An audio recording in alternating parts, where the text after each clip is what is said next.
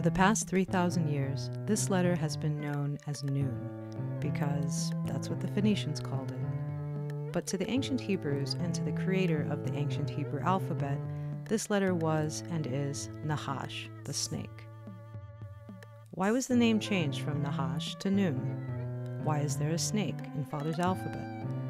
And why do most people who study ancient Hebrew think that this letter is a picture of a seed and not a serpent? We'll discuss all of that and more in today's episode. But first, know this. If you're not a big fan of snakes, that's okay. You're in good company. When Father first turned Moses' staff into a Nahash, Moses ran. But he got used to it.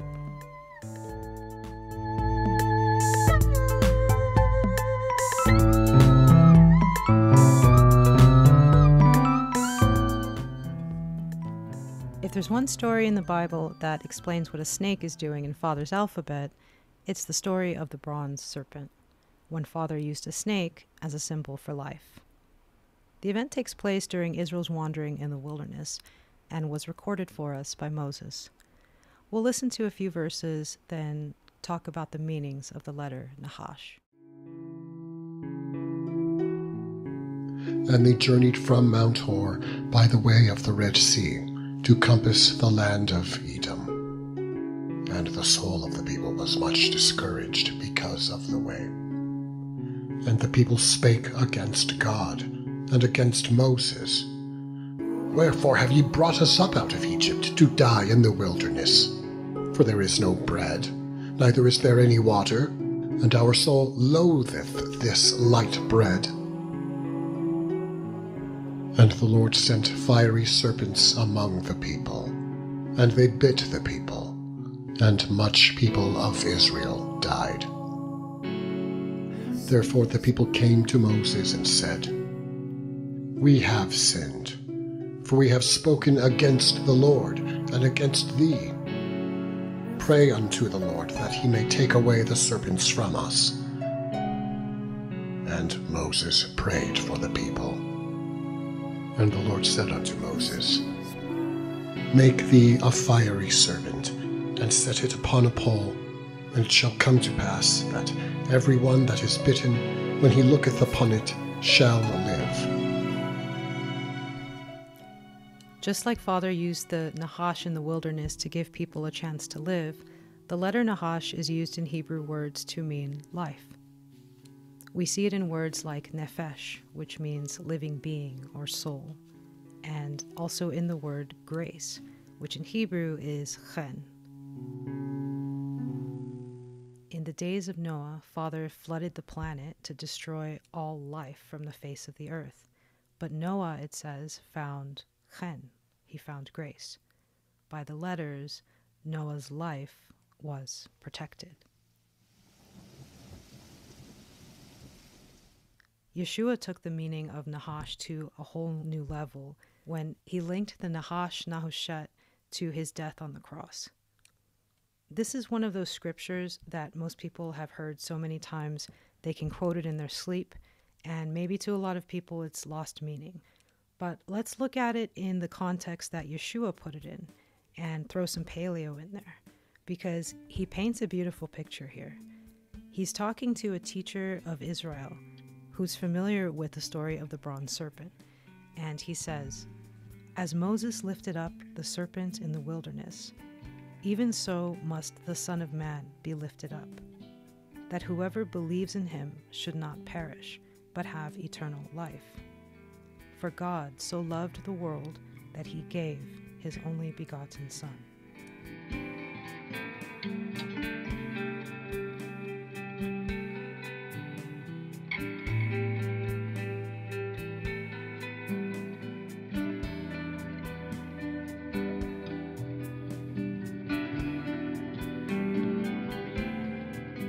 Of the uses of the letter Nahash in Hebrew words is to describe things that are bright and reflective, like snakeskin. Besides the word bronze, Nahoshet, which we saw earlier, there are many words used to describe the brilliance around Father, which use the letter Nahash. The prophets Ezekiel and Daniel describe his throne as a burning, fiery flame. The word for fiery in Hebrew is nir, above his throne are sparkling seraphim angels, and the word for sparkling is nitzim. And it's written that those seraphim look like Nahoshet, like brilliant copper.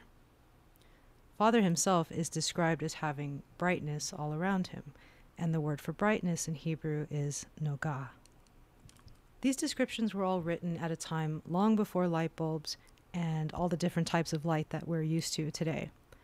Back in those days, if you wanted to describe something that was bright, your points of reference were things like the sun and fire and Nahash.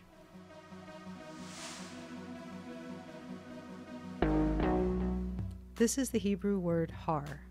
It means mountain. When it rains or snows on a har, water flows downhill looking like a Nahash. And this is how a Nahar is created. Nahar means river in Hebrew.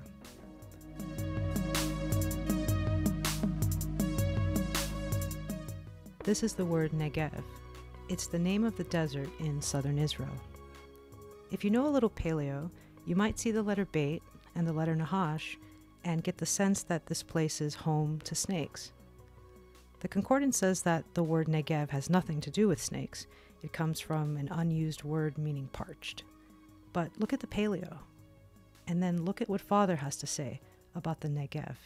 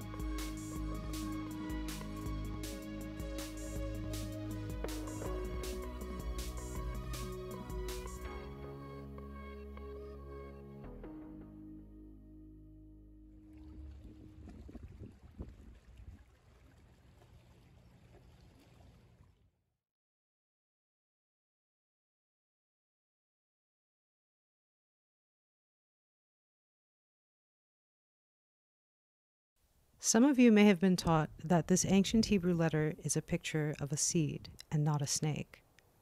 That's because people try to associate this image with the modern name of the letter, which is Nun. But the word Nun is not original Hebrew.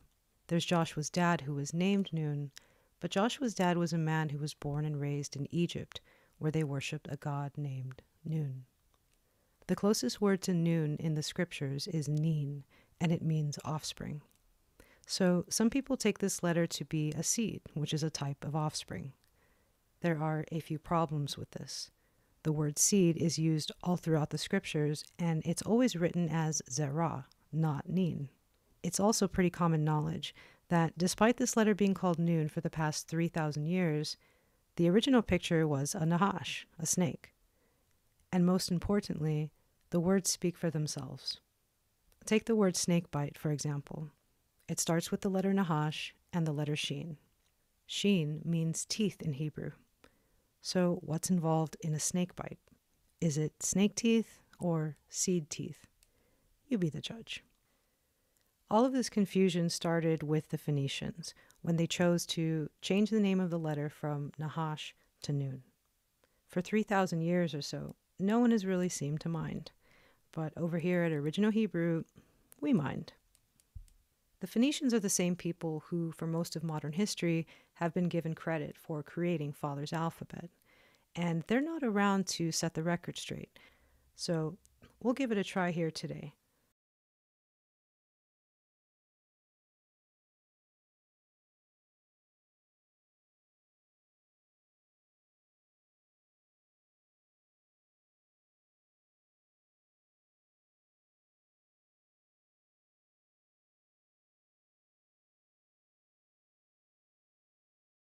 Okay, everybody, so we try to bring some new developments or some new information because this is original Hebrew, which takes original Hebrew script. because uh, that's the way Creator, otherwise Father, wanted it to be. Now, I, they always uh, are telling us that uh, the Hebrew alphabet came from Phoenicia, from the Phoenicians, and uh, that's what it's credited to. So let's take a look. Here are all the people that got together and used the Phoenician alphabet. Notice here is the Minoan script from 1550 to 1050. Notice they got their own script. Here is an example of the Mari. Notice in 1800 they have their own script. Here is the Luvians. These people live right, uh, right at the south, east corner of Anatolia, otherwise it's Turkey. Coastal people. They have their own script, 10th century. Here we got linear B tablets from Pylos, one of the islands in uh, in the Greek set of islands. They call it the Peloponnesians. And here's their script, 13th century. 1375, linear B. And here we got a fragment of uh, linear A from 1800 to 1450. Here is 1600 to 1450, linear A. And uh, notice this one. Uh, they say it's Phoenician writing, right? Right. Now here's the king of Phoenicia, Tyre, Tyre is Phoenicia. the capital of Phoenicia. Now here's the king of Phoenicia in his own script, writing to Pharaoh of Egypt in their own script. Now when they got their own script, how did they go all of a sudden uh, original Hebrew paleo writing? right. It's clearly a different script, Clearly, clearly cuneiform. in every case, they all have the linear A, the linear B. They have their Luvian type writing. I mean, they have uh, their own writing in Mari. And all of a sudden, after uh, 900 uh, BC, they're all writing in Hebrew and they're calling it Phoenician. right. Well, I smell a rat. Okay. And uh, these are the people that turned the letter Nahash into Noon.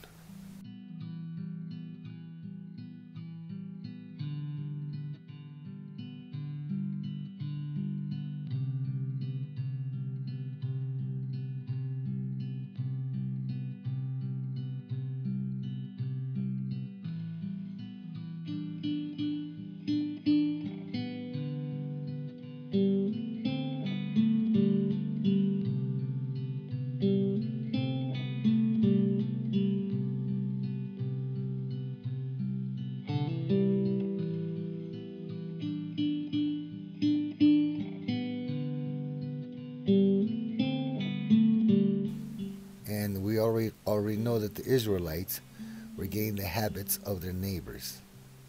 That if you don't if you don't uh, keep your own ways, you're gonna get their habits. And guess what? They took a Nahash and they let it turn into a noon.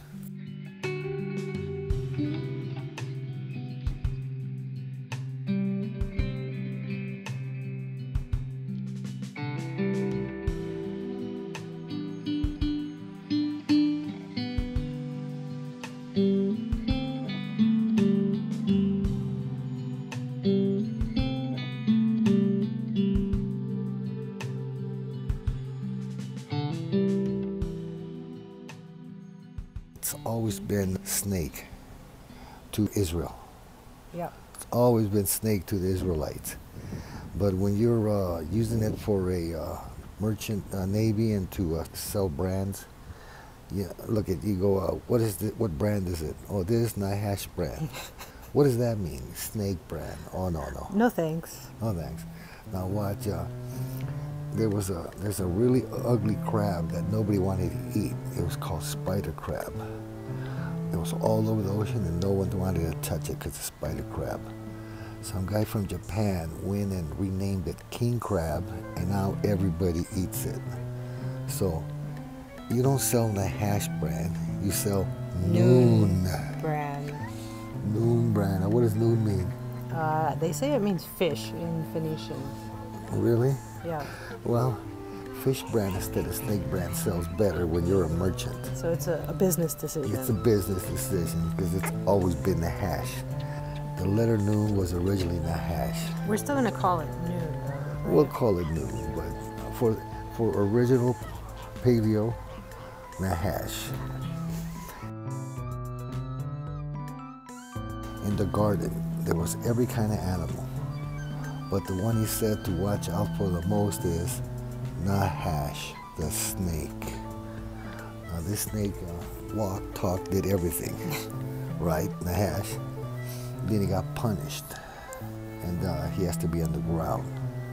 However, that snake in the middle of the Garden of Eden is sanctioned by Father to be there.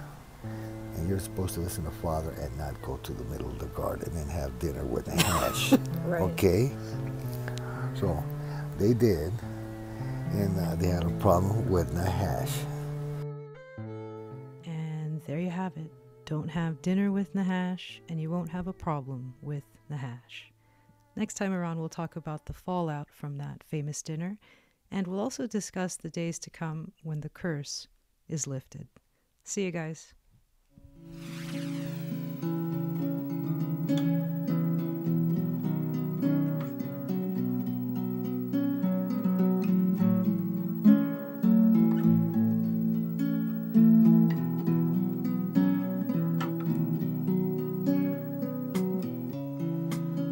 Is lost, I pray you find. What has gone from yours to mine? What is this I seek in the islands like a dream? Jealous of your space and time, we chase fortunes and sublime. After ages, after seas.